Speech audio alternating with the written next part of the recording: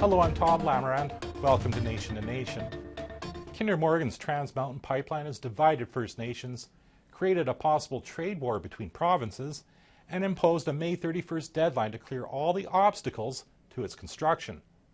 Opponents vow to stop it dead, while the Trudeau government insists it will be built, including toughening up legislation to do just that.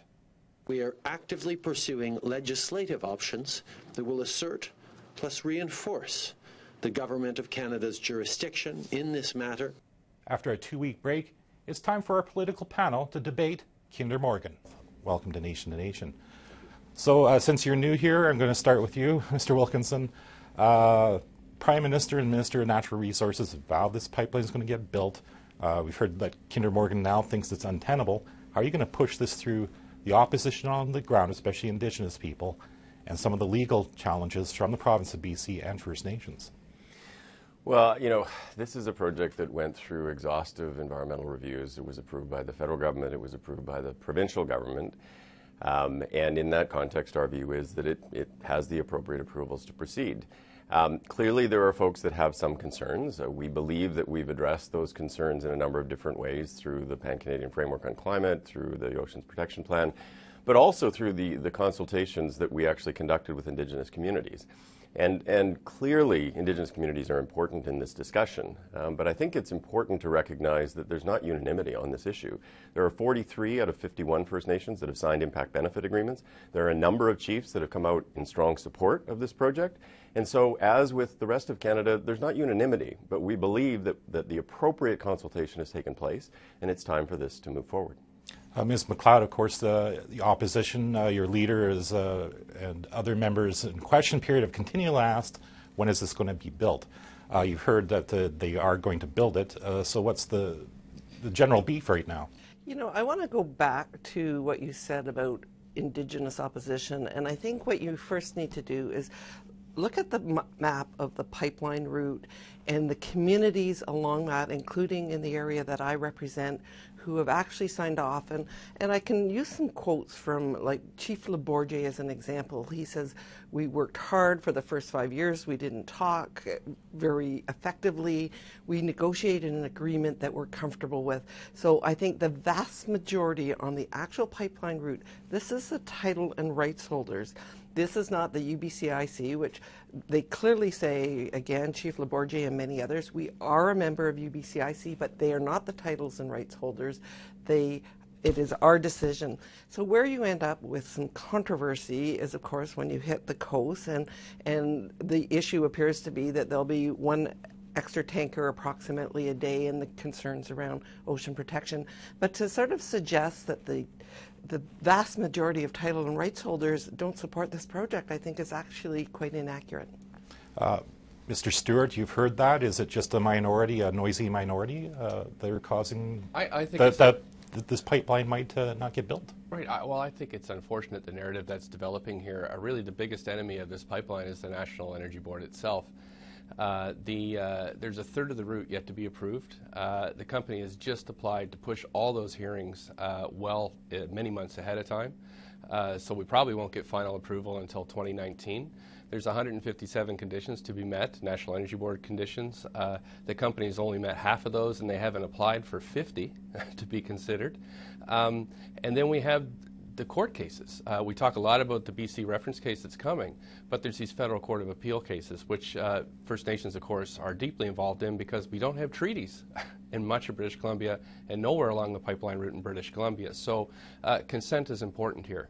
And it's consent from every nation that's along the pipeline because we know one nation cannot speak for another nation when it comes to their title and rights.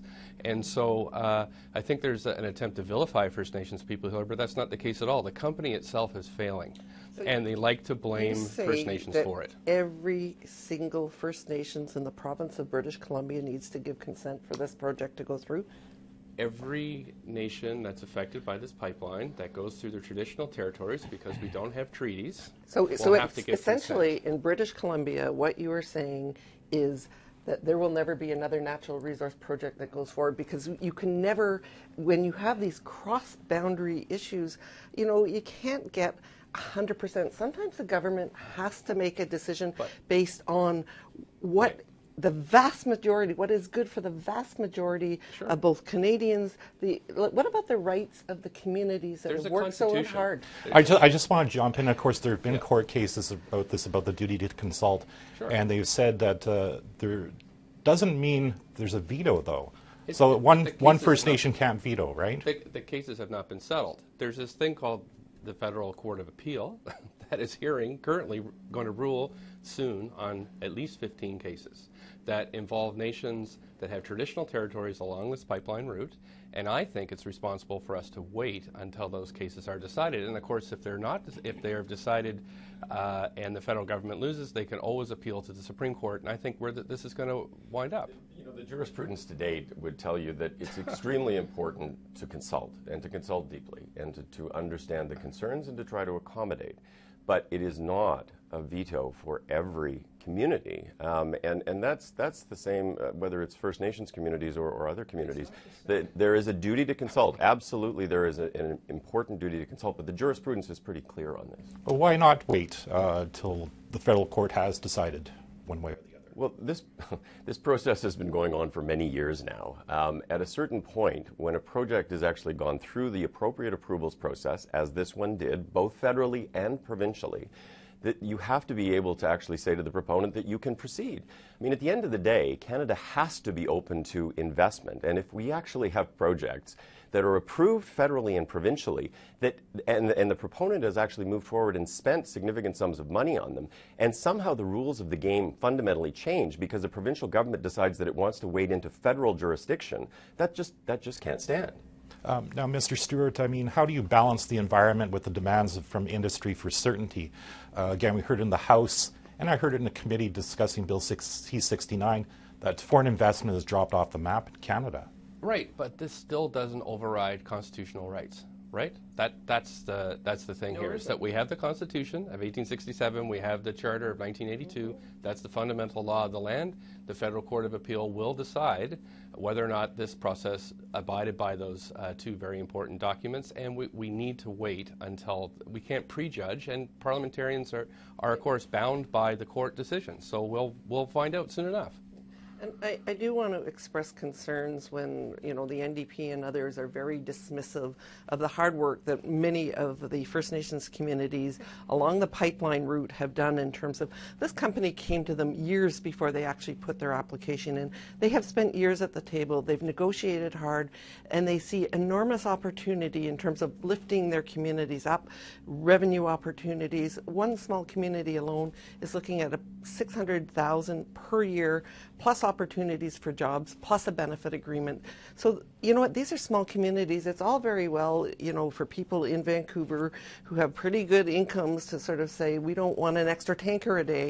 But look at these communities, um, especially some of these First Nations communities, are really, um, they are, believe in the environment. They've ensured in their negotiations with Kinder Mountain or Kinder Morgan that many environmental protections that were important to them were put in place including and especially the salmon. They watch trains go along their route. Um, they know that softwood lumber is not getting to market because the trains that are going along the route are filled with um, oil, which you don't have any control over once it hits the, the port. So, so the pipeline is to them absolutely essential, and I do want to sort of give. Before we run out of time, though, I want to ask this. I mean, uh, how, how are we going to solve, I suppose, the problem on the ground uh, if there's thousands of protesters who won't let trucks go in or won't let a piece of pipe be put into the ground?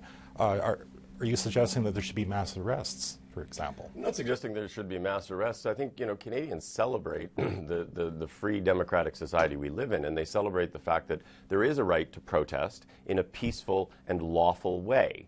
I don't think Canadians would be accepting of the idea that people would be would be breaking the law to try to actually uh, undermine a, a, a, project that's actually been approved. But certainly, peaceful protests that are done in a lawful way, I think everybody is is fine with that. It's part of the democratic process. Uh, Mr. Uh, Stewart, of course, you yourself was arrested with uh, Green Party leader Elizabeth May just a few weeks ago. Uh, I mean, what would happen if there are mass arrests? Well, I've been working on this file since 2011. Uh, the day after I was elected on May 2nd, I, the company called me and I met with them four times. I've consulted my community, uh, you know, phoned every household. We had a vote. They, uh, 75% said they didn't want this pipeline, so I've been doing my best uh, as a parliamentarian to make their voices heard. However, when the Natural Resources Minister threatened to use the Army on British Columbians, then I realized that this hit a different place. That when, when you threaten to use the Defence Forces to, to push a project through against the will of communities, violating the Constitution, ignoring consent, then I think it takes the debate to a whole other level. Uh, Ms. McLeod, is that the way to go? Send in the army? You know, I have to agree in terms of lawful protests is certainly part of Canada democratic process, and the the rule of law needs to be respected. Uh, again, uh, um, Mr. Wilkinson, uh, does uh, Mr. Trudeau have to have a just watch me moment to get this pipeline actually built? Well, I think the Prime Minister has been very clear um, that, that this project is, is in the national interest and it needs to be built, um, and we intend to ensure that that that is done in a thoughtful way, concurrent with implementation of our climate program, concurrent with the implementation of the Oceans Protection Plan, and concurrent with ensuring that, that Indigenous communities are involved in a substantive way through things like the monitoring committee that is going to monitor the implementation of the conditions and the ongoing operation of the pipeline, a process that was co-developed with Indigenous communities. Does that mean sending in uh, the RCMP or the Army? Though? No, I mean I, I, have great faith in in Canadians. I mean Canadians, uh, Canadians, even those that are opposed to the project, believe in lawful protest. Um, but you know, I, I, think we all expect people to abide by the rule of law. I wish we could go on. Uh, this has just been a great discussion, but we can't. I want to thank you for joining me here on Nation to Nation. Thank you. After the break, a parliamentary committee is studying the way projects like pipelines are reviewed and approved.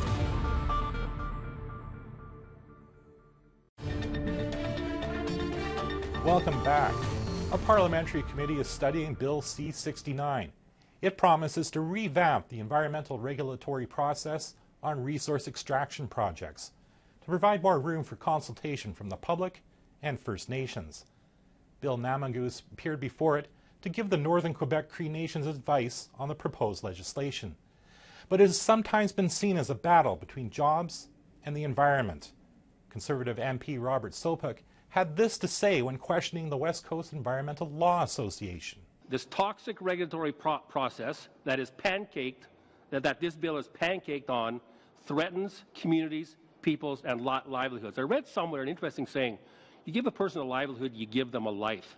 Why is it, Ms. Johnson, that you and your groups never talk about the importance of livelihoods? And join me now is Bill Namagoose of the Cree Nation Government of Northern Quebec. Welcome to Nation to Nation. Thank you. Now, what was the main point of your testimony before uh, the committee yesterday? Well, we have an agreement we signed in 1975, which is a treaty, and inside that treaty uh, is an environmental review process. And it was the first of, of its kind in Canada, and Canada is part of that, that process. And our, our request simple is very simple. Uh, we want a new legislation, Bill C-69, to accommodate the, uh, the uh, environmental review process in our, in already embedded in our treaty. It, that review process in our, in our treaty ensures uh, Cree participation on, the, on these uh, decision-making panels. We're not observers, we're not uh, interveners, we're participants. And that's uh, a treaty right that we would like protected and recognized by this uh, new legislation. Are you saying that up until this point uh, it hasn't, they haven't been using this panel? No, we've been negotiating with them for eight years now trying to get the, our treaty embedded in, or recognized in their process, and uh, we have not been successful. Now we have this new legislation, and we, would, we want the same thing, the same accommodation. Uh, how can Cree participation be included uh, without bogging down the process and uh, uh, creating uncertainty for industry investment?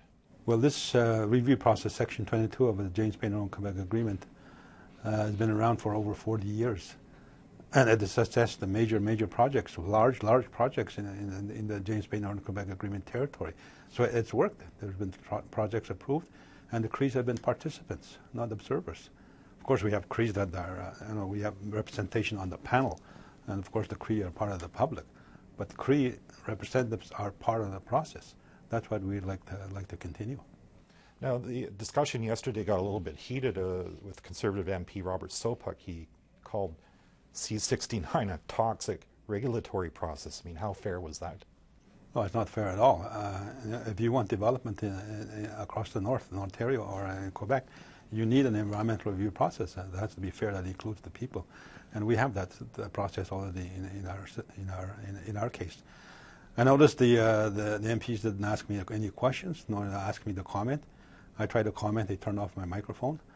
Uh, the Liberal Party seems to have this in control. Uh, they don't want any of the uh, Cree participation, or that seems to be the objective, and that was decided clearly decided before the hearing that we would just read our statement and it would be ignored after, and we, we, we weren't able, able, not able to interject. Uh, was there a point uh, in the discussion where you tried to interject and you couldn't? Yes, uh, there were some comments made by the Liberals. Uh, they were going back and forth with the environmental environmental committee, uh, environmental uh, groups at the table.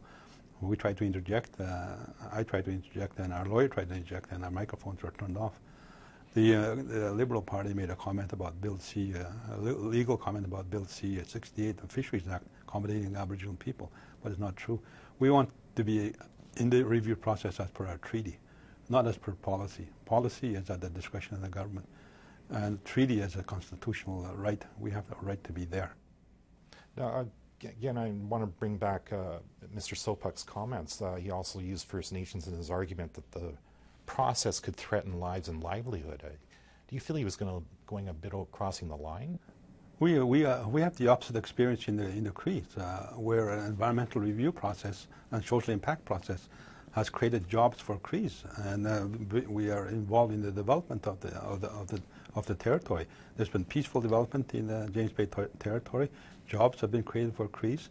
It was because of the environmental review, not in spite of it so that we experienced the opposite of what, he, what he's saying.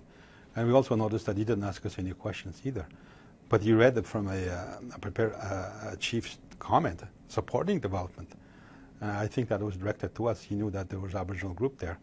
So he would make these comments directed at, uh, uh, because we were there, but not directed He was referencing uh, he was, the, testimony of Chief Ernie Crey, who was there the day before. Yes, in support of development. We are not anti-development either. We, we support development if it respects our rights. Uh, now, you, again, you talked about um, this process. You, you talked about uh, being a full member of the process, of, of being a member of regulating or advising on any projects. Uh, if they had done that on the West Coast, I hate to bring it up, but uh, we know what's going on on the West Coast. Could we have avoided some of the conflict that's going on out there? Yes, if you involve Aboriginal people in your in your processes, uh, it creates more harmony than uh, than conflict. Uh, we, we've noticed that in our, in our area. Uh, we've had dealings with Hydro-Quebec, uh, forestry companies, aluminum, nuclear uranium companies, and the process they have in place has, has, has worked. We had the last major project we had was uh, in the Territory Hydro project was seven billion dollar project, and it was a hydro project that diverted the Rupert River, and the Crees were part of the environmental review process. Uh, the permit was given; it was not uh, the Crees have uh, no, uh, we have uh, our own debates. Some people oppose it, some people against, uh, are in favor of it, but we come to a consensus, and uh, it's not all it's 100% in favor. We have detractors, uh, but the Crees make the decision, decision, and it was through this environmental review process that we did that. We did that. Well, obviously, there wasn't any consensus, consensus on the West Coast uh, when it comes to Kinder Morgan. Uh, Mr. Namagoose, I want to thank you for uh, coming on Nation Nation talking to me. Thank you. Thank you for having me. Congratulations coming down. Coming up after the break, we talk to a Kinder Morgan protester who was arrested and got his day in court.